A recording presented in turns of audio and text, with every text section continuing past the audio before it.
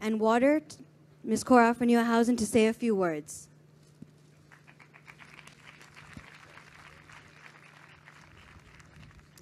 Mr. Ambassador, Guruji, Ravi Shankar, yoga aficionados, what a wonderful day.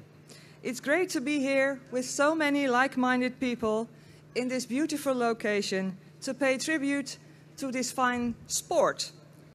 And I say sport because that is how many Dutch people view yoga something that they do for an hour after work every Tuesday or every Wednesday. But for far more people around the world, it is a way of life.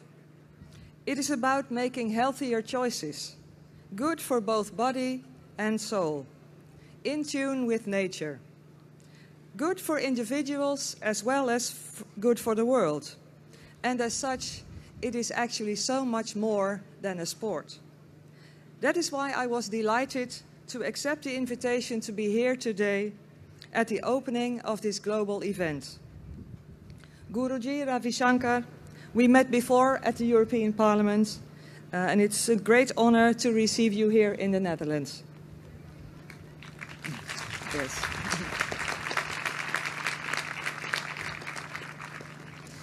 Some of you might be asking yourselves, what is a Minister of Infrastructure and Water Management doing at a ceremony to mark the International Yoga Day? Well, I'll tell you. Three weeks ago, I was in India with a trade mission headed by Prime Minister Mark Rutte. It wasn't the first time that I was in India, but once again, I was impressed by India and its can do approach. Demonstrating self confidence and great ambition, the country is working hard not only to grow its economy, but it does it in a way that it wants to be sustainable as well. And Dutch businesses are contributing to efforts to clean up the Ganges, India's great sacred river. And the Netherlands is helping to build sustainable and healthy metropolitan regions and cities by providing assistance in areas like waste management, urban planning, and wastewater treatment. The ties between India and the Netherlands go back 400 years and are still very strong. A country of illustrious history, India has given the world so much. It is known, we all know that, for non-violent protest. But today we are celebrating that it is the birthplace of yoga. Yoga has become popular all over the world.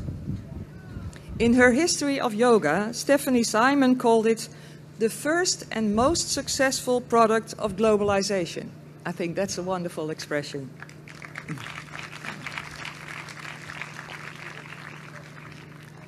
Yoga is practiced from Japan to South America and from Canada to Australia.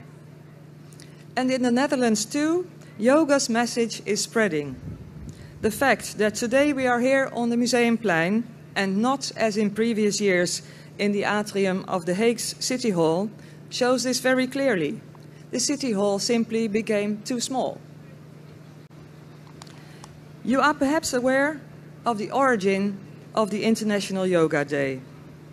It was India's Prime Minister Modi that was looking for a way to spread India's gift to the world yet further, aware that a change of lifestyle and greater mindfulness would benefit people's health worldwide. And eventually, he added, it may even help us to tackle climate change. In December 2014, the UN adopted a resolution making the 21st of June International Day of Yoga. I personally must confess that I created my own version of yoga to, uh, to stay uh, exercised and uh, mindful. Um, but I'm all into yoga, the practitioners, and the underlying goals of Prime Minister Modi. I wish you all an enjoyable day, all the best. Namaste. Thank you.